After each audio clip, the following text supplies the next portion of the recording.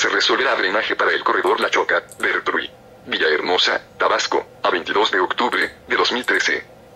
El alcalde Humberto de los Santos Bertrulla acordó con empresarios del corredor La Choca la solución definitiva al problema de drenaje sanitario y pluvial que provoca inundaciones en esta zona hotelera y de restaurantes, así como el análisis de propuestas para resolver los temas de inseguridad, estacionamiento, embellecimiento y rescate integral para darle una mejor imagen. Así también, el municipio comprometió terminar con los vados de agua pluvial que se forman a lo largo del periférico Carlos Pellicer Cámara, en el carril correspondiente a la margen derecha del río Carizal, puesto que si bien estas acciones competen a los gobiernos federal y estatal, no podemos quedarnos solo en deslindar las responsabilidades, porque a la gente lo que interesa es que solucionemos sus demandas.